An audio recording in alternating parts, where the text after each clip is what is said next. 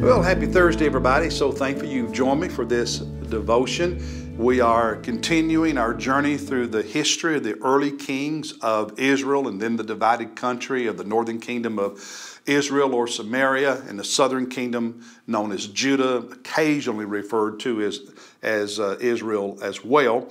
And we're looking today at the story of a king named Uzziah. That's how he's referred to in the book of Second Chronicles, where I want you to open your Bible, please. Second Chronicles 26. We also read about him in the book of Second Kings in chapter 15, and there he's called uh, Azariah. So Azariah or Uzziah. He, he had both names, which was not unusual uh, you know, kings in England, I don't know, why they got four or five names to their name. Um, so it wasn't unusual. Uh, there are several of the kings that had multiple names. So Azariah in the book of Second Kings, but Uzziah in the book of Second Chronicles, and also in the prophet Isaiah's writing. And as I was reading his story, what I wrote at the top of my journal that spoke to me is the danger of pride. The danger of pride. Because Uzziah, or Azariah, was a good king. He was a godly king. Uh, in, in 2 Chronicles 26, verses 4 and 5, we read that he did right in the sight of the Lord according to all that his father Amaziah had done. And he continued to seek God in the days of Zechariah, who had understanding through the vision of God, so, so a prophet. And as long as he sought the Lord, God prospered him. So Uzziah was a good king, a godly king who sought the Lord, wanted a relationship with the Lord, wanted to obey the Lord, and, and as long as he was doing that, God blessed him and the country. And uh, as you read his story, some of the blessings was military success and security, um, extended periods of peace where other countries never attacked them and made made war with them. Um, he um, he, he, he, he grew the kingdom, their, their borders enlarged. So it was a time of prosperity and a time of blessing, you could say, uh, for the, the nation. But over time, all of that success caused him to, to not turn away from God. He, he never did that, he never worshiped idols. But as he got older, because of all his success, all the blessings of God, um, that if you take the spiritual side out of it, you take God out of it, you could look at it, he was very effective and successful. Well, he never abandoned God, but, but toward the end, he became less reliant on God. And he was less intentional about seeking God as he got, as he got older. And so you, uh, you drop down in chapter 26 of Second Chronicles to verse 16, says, When he became strong, so after all these years of success, his heart, his heart was so proud that he acted corruptly and he was unfaithful to the Lord his God, for he entered the temple of the Lord to burn incense on the altar of incense. So what, what happened was, you know, God in Scripture and in history had set up a very clear line of demarcation between the king and the Levitical priesthood, between, between uh, the government, if you will, and those who, who served in the temple, the, the religious leaders, the worship leaders. Um, and, and, and Uzziah violates that. He's the king. Only the priest, the descendants of Aaron, are supposed to go inside the temple, burn incense, and offer sacrifice to God. But as he became so proud of his leadership and, and you know God was with him and had blessed him, one day, for whatever reason, he went inside the temple and started offering incense. Um, and the priest confronted him, tried to get him to, to leave the temple and, and, and stop Uh, doing that, but he, he gets angry at the priest for confronting him. And as he's arguing with the priest in anger and pride, God strikes Uzziah, the king, on his forehead with leprosy, and the, the priests see it happen. And so you drop down in chapter 26 to verse 19.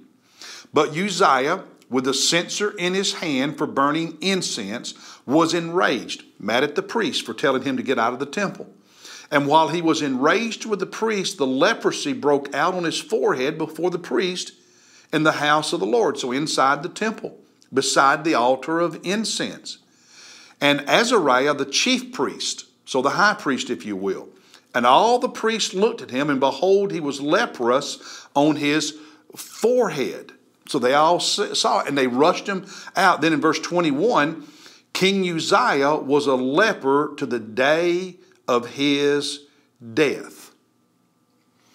Uh, the leprosy never left him. And as a result of that, he lived in a separate house in verse 21, being a leper, for he was cut off from the house of the Lord. He couldn't go to the temple anymore. He had to live in his own quarters because remember, in ancient times, they separated lepers into colonies. Well, as the king, he was separated into a house where he alone lived. Verse 21 also says, And Jotham, his son, was over the king's house, judging the people of the land. So for about 10 years, Uzziah and his son Jotham were, were uh, co regents. They ruled together. Yes, he was the king, but Jotham, the boy, the son, was the one who actually was the acting king, so to speak. So they were co regents for about 10 years.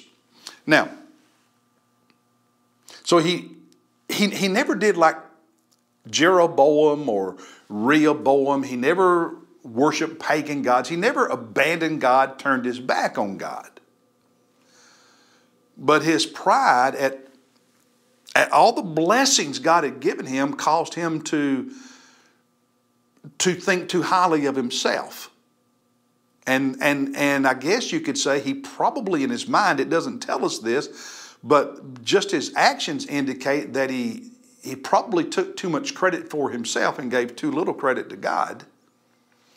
And, and those boundaries became blurred in his line so that he goes into the temple to offer incense to, as an offering. But God had made it clear only the priests were to do that. The king could never do that. And so he sinned and God punished him, disciplined him as a result. Pride.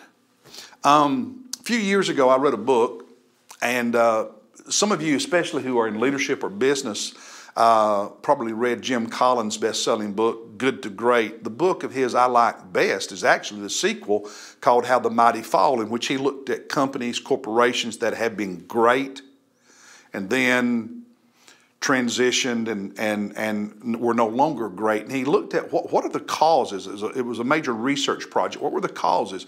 And one of the causes of companies that are great diminishing, ceasing to be great, is what he calls hubris born of success.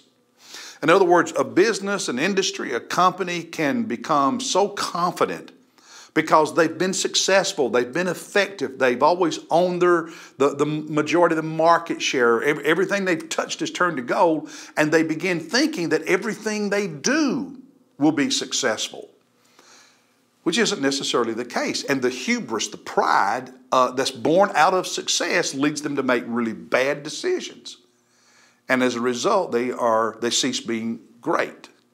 Um, all kinds of examples of that in American industry. That can be true uh, of a church, can be true of a leader, can be true of an individual. I think that was true of Uzziah or Azariah, that there was a hubris born of success. And what's interesting is his success was, was because of God's blessings. Do you know that sometimes the things that God blesses us with can be the very things that we allow to distract us from continuing to seek Him? That, that if we allow our attitude and our heart to, to, to get twisted somehow, God's blessings, we turn into a curse against our very spiritual lives. Something we all need to uh, guard against. You see, humility and ongoing dependence on God, ongoing seeking of God is a constant effort. And I would say that the more successful we are, the more blessed we are. And I would also add that the older we get, the more intentional we must be about seeking God, having the humility to say, I need Jesus. I need the Word. I need to seek God. because age, longevity, success, and blessings can breed a subtle pride that ends up causing us to depend on God less and seek God less. It's just a word of caution. Um, the older you get, the more successful you get, the more humility you need to stay on your face seeking God in His Word. And don't think you have arrived. Because you didn't get there without God, and you won't stay there without God. That's the word for today. I'll see you tomorrow.